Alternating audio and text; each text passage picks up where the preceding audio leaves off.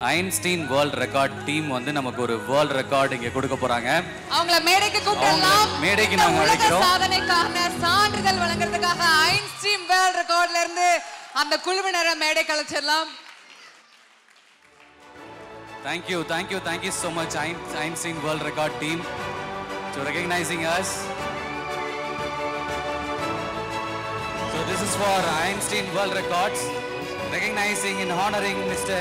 K. Gopinath, Mime Gopi, for his extraordinary work for outstanding efforts of organizing and supporting artists who showcase their expressive skills of the art of the mime. Let's give a big round of applause for the G Mime Studio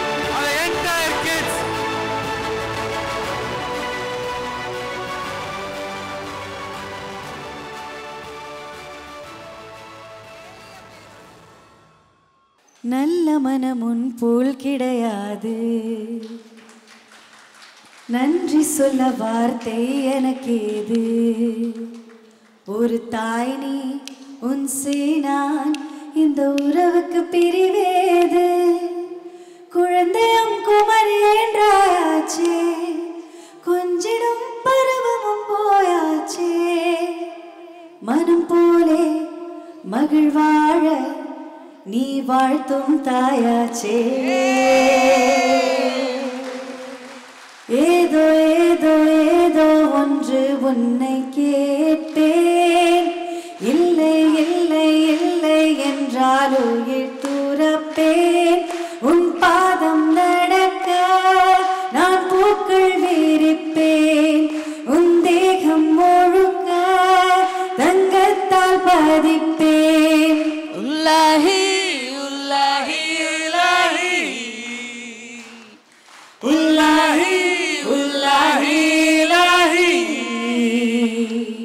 ஒரு ஆசை மனதுக்குள் போதும்.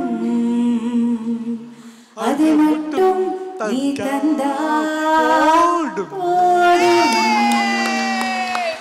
thank you Gopi and thank you for the entire team நாங்கள் பெங்களூரில் mind பண்ண சொல்ல முதல்ல முதல்ல என்னை கட்டிப்பிடிச்சி தழுவி டேய் சூப்பராக வருவேன்னு சொன்ன என் சகோதரி. மூத்த சகோதரி. வயசுக்கு வெறும் நம்பர் தானே. மூத்த சகோதரின்னு சொல்லி இவர் ரொம்ப யூத்தா. ரெண்டு பேரும் ஒரே பேட்ச் தான். ஆமாம் நாங்கள் மெட்ராஸ் யூனிவர்சிட்டிக்கு போய் நிற்கும் போது என் கையில் சாப்பாடு போட்டு என் கையில் இருபது ரூபா கையில் கொடுத்து ஆமாம் மேலே வாங்க. இப்படி வாங்கம்மா. ஸ்ரீலேகா அவர்களே வாங்க நீங்கள் என் கையில் இருபது ரூபா கையில் கொடுத்து டே வச்சுக்கடா சாப்பிடுக்க வச்சுக்கடா அப்படி சொல்லி கொடுத்துற பெரிய ஜீவராசி. பெரிய ஜீவன். மனசில் கள்ளங்கொடமே எதுவுமே இருக்காது. அப்படியே ஓப்பனாக பேசக்கூடிய ஒரு பெரிய கதாபாத்திரம். நான் இவங்களை பார்த்து நிறைய வளர்ந்துருக்கோம் நாங்களாம் வளர்ந்துருக்கோம் நல்லா வளர்ந்துருக்கோம் அப்படின்னு மாற தள்ளி சொல்லுவேன். நான் குறையா இல்லை நிறையா இருக்கேன் எல்லாருக்கும் பண்ணணும்னு ஆசைப்பட்றேன் பெரிய மனசில் வாழ்கிறேன் அப்படின்னு சொல்லி கொடுத்த இடமே இந்த இடம் தான் துவக்கமே. தேங்க்யூ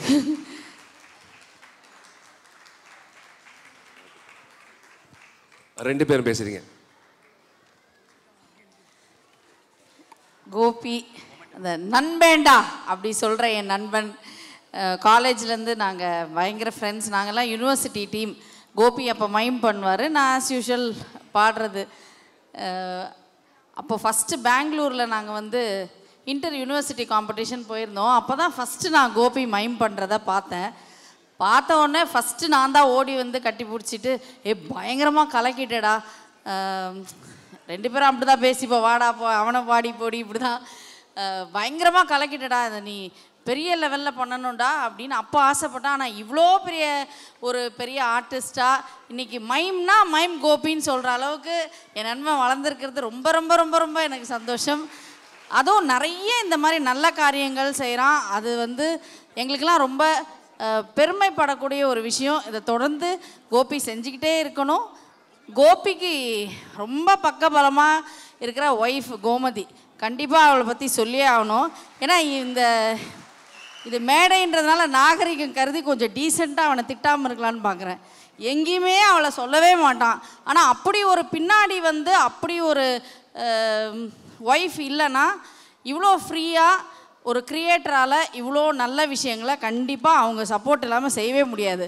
ஏன்னா சம்பாதிக்கிற பத்து காசு கூட அவள்கிட்ட கொடுக்க மாட்டான். அவளாக சம்பாரித்து அவளாக இருந்து அவளாக குடும்பம் நடத்திக்கணும். அப்படிதான். ஸோ கோமதிக்கு என் நண்பனுக்கு அப்படி ஒரு நல்ல ஒய்ஃப் கிடைச்சதுக்கு கோமதிக்கு ஒரு ஹேட்ஸ் ஆஃப் அண்டு இவனுக்கு எப்போவுமே பக்கபலம் அவங்க அம்மா எல்லாம் உயிரோடு இருக்கும் போதே நான் அவங்க வீட்டில் போய் நல்லா சாப்பிட்டு என்ஜாய் பண்ணியிருக்கோம். அவங்க அக்கா இங்கே கண்டிப்பாக எங்கேயாவது இருப்பாங்க அக்கா. அக்காவும் நமக்குலாம் நிறைய சாப்பாடு போட்டிருக்காங்க அப்போ. நாங்கள் ரிஹர்சல் பண்ணும் போதெல்லாம் ஸோ அவங்க ஃபேமிலி எப்போவுமே அவனுக்கு ஒரு சப்போர்ட்டிவாக இருக்கிறாங்க. இந்த மாதிரி இன்னும் நிறைய நல்ல காரியங்கள் நீ செய்யணும். இந்த மாதிரி நிறைய கலைஞர்களை நீ உருவாக்கணும். அதுக்கெல்லாம் எப்போவுமே நாங்கள் வந்து எங்களால் முடிஞ்ச லெவலில் ஒரு சப்போர்ட்டிவாக இருப்போம்னு தெரிவிச்சுக்கிறேன். நண்பா தேங்க்யூ ஸ்ரீலேகா பார்த்தசாதி அவர்களே தயவு செய்து ரெண்டு வார்த்தை பேசுங்க. எனக்கு ஆக்சுவலி இன்னும் பேசுறதுனே தெரியல. அப்போ பாடிடலாமே. ஒரு பாட்டா ஒன்று பாடிடுங்களேன் இவ்வளோ நேரம் வந்து நீங்க பாத்தீங்க ஒரு நாங்கள். எங்கள் வேலையை செய்கிறோமோ இல்லையோ உன் வேலையை நீ நல்லா தரமாக செய்கிறடா வேற என்னக்கா பண்றது? இல்லை எனக்கு வந்து I am still not out of that impact actually அதுலேயே இருக்கேன் இன்னும். வெளியில் வர முடியல.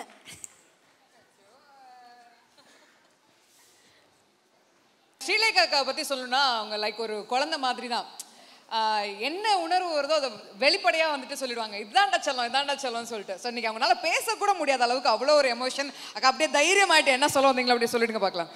இல்லை எனக்கு என்னென்னா கோபியோட இந்த ஆக்ட் ஃபுல்லாக ஸ்டார்டிங்லேருந்து வரும்போது எல்லாமே நிறைய விஷயங்கள் வந்து என்னை ரிலேட் பண்ண முடிஞ்சது. எனக்கு இவன் ஒம்பது வருஷத்துக்கு அப்புறம் பிறந்தான். ஸோ நிறைய விஷயங்கள் நான் வந்து இந்த சொசைட்டியில் தாண்டி வர வேண்டியிருந்தது. இவன் பிறக்கும்போது எனக்கு வந்த சந்தோஷம் எனக்கு இன்னைக்கு கிடச்சிது. பா. உண்மையிலேயே. ஒரு தாய் வந்து ஒரு குழந்தை எந்த அளவுக்கு பாதுகாப்பா அப்படிங்கிறதுக்கு இது ஒரு மிகப்பெரிய உதாரணம். இப்போ இருக்கிற ஜெனரேஷன் பார்க்கக்கூடிய ஒரு விஷயம். ஏன்னா எல்லாருமே வந்து ஓட்டத்துலேயும் சோஷியல் மீடியாலையும் வந்து நம்ம அம்மா அப்பா என்ன அப்படிங்கிறது மறந்து போயிடுறோம். ஸோ அதை ஞாபகப்படுத்தினதுக்கு நன்றி கோபி. கைத்தட்டலாம் எல்லாருமே. கண்டிப்பாக நம்ம எல்லாரோட வாழ்க்கையிலையும் அம்மா அப்படிங்கிற ஒரு விஷயத்தை வந்து எது வேணால் ரீப்ளேஸ் பண்ணிடலாம். ஆனால் அம்மாவை ரீப்ளேஸ் பண்ண முடியாது. ஸோ அதை இன்னைக்கு மறுபடியும் எங்களுக்கு ஞாபகப்படுத்தினதுக்கு நன்றி கோபி அண்ட் எனக்கு ரொம்பவே ஸ்பெஷலான ஒரு சில இடங்கள்ல தான் எனக்கு ரொம்ப ஸ்பெஷலான இந்த பாட்டை நான் பாடுவேன். ஸோ உங்களுக்காகவும் இந்த எல்லா குழந்தைகளுக்காக இங்கே இங்கே மேடையில் இருந்த அத்தனை குழந்தைகளுக்கும் நல்லா கைத்தட்டலாம் ஏன்னா நான் வந்து ஒரு ஒரு பாயிண்ட் ஆஃப் டைமில் ஒப்பி எனக்கு எல்லா குழந்தைகளும் ஒரே எக்ஸ்பிரஷன் கொடுத்த மாதிரி இருந்தது. ஸோ அந்த ஒரு யூனிட்டி ஒரே நிமிஷத்தில் அந்த குழந்தைகள் எல்லாருக்கும் ஒரே விஷயத்த பண்ண வை வைக்கிறதுங்கிறது எவ்வளோ பெரிய விஷயம் தெரியுமா? ரொம்ப பெரிய விஷயம். ஆமாம் டெஃபினட்டாக உங்கள் குருக்குன்னு வந்து நீங்கள் பெரிய நன்றி சொல்லணும். எல்லாருக்கும் சேர்த்து ஒரே உணர்வை கொண்டு வர வரக்கூடிய ஒரு சக்தி அவங்க இன்னைக்கு கொண்டு வந்தாங்க. ஸோ அதை நான் ஃபீல் பண்ணேன். ஸோ தட் வாஸ் அமேசிங் இந்த நிகழ்வுக்கு அம்மாங்கிற அந்த திருவிழாவுக்கு வந்ததுக்கு அண்ணன் வளர்த்துறதுக்கு வயசில் என்ன? வணங்குறண்ணே நானும் அம்மா பாசம்தான் எங்கள் அம்மா கட்டடத்து வேலைக்கு போய் என்னை காப்பாற்றினாங்க எங்கள் அப்பா வந்து என்னோடய வளர்ச்சியில் அவ்வளோ உழைக்கலை. எங்கள் அம்மா ஒரு ஆம்பளைக்கு நிகராக மூட்டை தூக்குவாங்க கருது கட்டு தூக்குவாங்க நாற்று பறிப்பாங்க. கட்டடத்து வேலைக்கு போய் என்னை வந்து காப்பாற்றின எங்கள் அம்மா. சொல்கிறதுக்கு ஒன்றுமே இல்லை. நாலே வார்த்தை தான். அம்மா என்ன மடியில் சும அமர்ந்தே போச்சு நான் என்ன செய்யறது இல்ல உங்க அதுக்கு இது கிழிஞ்சிருச்சு. சரி சரி. என்ன தவம் இருந்து பெத்து எடுத்தவள? நான் தனி மரமாக்கும் பிள்ளை இல்லை. ஓ உடல் சதைய பிச்சு கொடுத்தவளே. உன்னை உதறி எறியும் கல்லு மனசில்லை. உலகத்தில எனக்கு அறுதலை உன்னை போல வேற யாரும் இல்லை. அம்மா உன்னை போல வேற யாரும் இல்லை. அதுக்கு மேல தேங்க்யூ சார் தேங்க்யூ சார் அப்படியே வேல்முருகன் சார் நீங்களும். அண்ணா நீங்கள் தான் சொல்லணும். இல்லை நீங்கள் சொன்ன பிறகு தான் நான் பேசுவேன் வேல்முருகன் தம்பியை வந்து எனக்கு முதல் காலகட்டத்தில் ஆரம்பிச்சதே தெரியும். தம்பியை நான் ரோட்டில் பார்க்கும்போது என்னடா பண்ணுற தம்பி அப்படின்னு ஆனால் வாய்ப்பு தேடிட்டு இருக்கேன் அப்படின்னு. வாடா வேளாங்கண்ணி மாதா சர்ச்சுக்கு போ அப்படின்னு சொல்லி பாரிஸில் ஒரு சர்ச் இருக்கும். அந்த சர்ச்சுக்கு போய் நல்லா வேண்டிக்க கண்டிப்பாக நீ பாட்டு பாடிடுவேன் அப்படின்னு. அவன் வேண்டிட்டு வந்துட்டான் பொழுது பாட்டு கொடுத்துட்டாங்க ஆண்டவன் என்ன கேட்டாலும் நடக்கும் பொழுது அந்த சேர்ச்சு நான் பாஸ் ஆகும் நினச்சி வேணுன்னு. எனக்கு தெரியும் நான் ஃபெயில் ஆகிடுவேன்னு சும்மா ஒரு அப்ளிகேஷன் போட்டு போய் வச்சேன் பாஸ் ஆகிட்டேன் ஐயோ அந்த அம்மா யாரா அப்படி காட்டுது? வேல்முருகன் காட்டினேன். வேல்முருகன் பாட்டு பாடிட்டான். அப்போ பாடின பாட்டு வந்து அம்மா பற்றி ஒரு பாட்டு பாடினான். அந்த பாட்டை கேட்கும்போது எனக்கு பயங்கர சந்தோஷம். தம்பி இந்த பாட்டை என்னைக்காவது ஒரு நாள் நீ பாடணுண்டா அப்படின்னு சொல்லி ரோட்டில் பாடினான் தம்பி. எனக்கு வீடு வீடா எல்லார் வீட்லையும் அந்த குரல் இருந்து ஒழிச்சிட்டே இருக்கு. அது எனக்கு பெரிய சந்தோஷம். வேல்முருகன் நல்லா வளர்ந்துருக்கான். எனக்கு தம்பி வந்து ஆடி கார் வாங்கிட்டான் பிஎன்டபிள்யூ வாங்கிட்டான் பெரிய பேலஸ் மாதிரி ஒரு வீடு வாங்கிட்டான். ஒரே ஒரு கல்யாணம் பண்ணியிருக்கான். ஏய்! வந்திருக்காங்கண்ணே ஆமா தங்கச்சி? தங்கச்சி லவ் பண்ண சொல்லவே தெரியும் எனக்கு. அவ்வளோ சீரியஸாக லவ் பண்ணான். விட் விடாத துரத்திட்டு கடைசியாக லவ் பண்ணிட்டான். பாவம் புள்ள மாட்டிக்கிச்சு. ரொம்ப தங்கம். தன்னை ரொம்ப அழகாக வச்சுட்டே இருப்பான் எப்போதுமே. வார்த்தையாக இருந்தாலும் சரிங்க செயலாக இருந்தாலும் சரிங்க. என்ன நடந்தாலும் யாரை பற்றி கவலைப்பட மாட்டான். அது உதாரணம் இப்போ கண்ணாடி போட்டுட்டு தான்.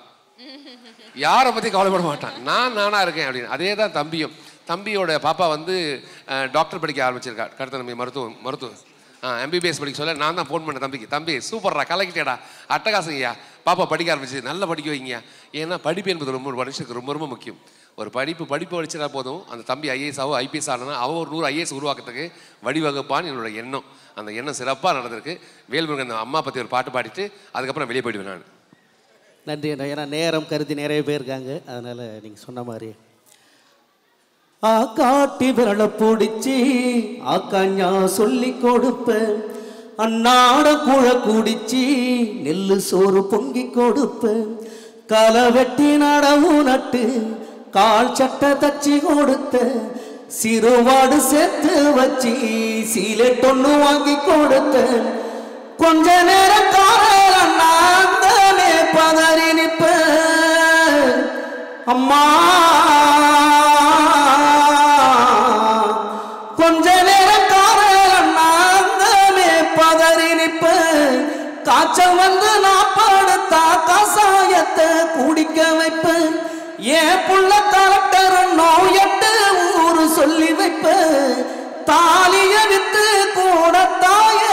உன்னை படிக்க வைப்பேன் உன்னை பாட வார்த்தை இல்ல அம்மா.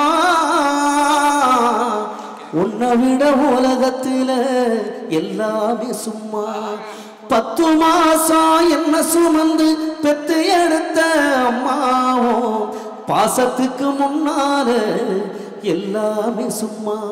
ஓரத்தத்தை எல்லாம் பாலா தந்து பொத்தி வளர்த்த அம்மாவும் அன்புக்கு முன்னால ஆகாச சும்மா எறும்பு அண்டாம தூசு தும்பு சேராம தொப்புள் கொடி அறுத்தெடுத்த அம்மா. கண்ணோடக்கம் பாராம கஞ்சி தண்ணி இல்லாம பாலும் சோறும் ஊட்டி வளர்த்த அம்மா. அன்புக்கு முன்னால ஆகாச சும்மா ஓ அன்புக்கு முன்னால ஆகாச சும்மா. வா. நன்றி தேங்க்யூ மிக மிக ரொம்ப ரொம்ப நன்றி. சாமி ரூம்ல இருக்கக்கூடிய சாமியை கும்பிட்டவன் ஜெயிக்கிறானா இல்லையான்னு தெரியாது. ஆனா சமையல் ரூம்ல இருக்கக்கூடிய சாமியை ஜெயிச்சவன் ஜெயிக்காம போனதா சரித்திரமே கிடையாது அப்படிங்கிற மாதிரி இருந்தது இந்த மேடை. ரொம்ப பெரிய நன்றிகள் அவங்க ரெண்டு பேருக்கும். நன்றி.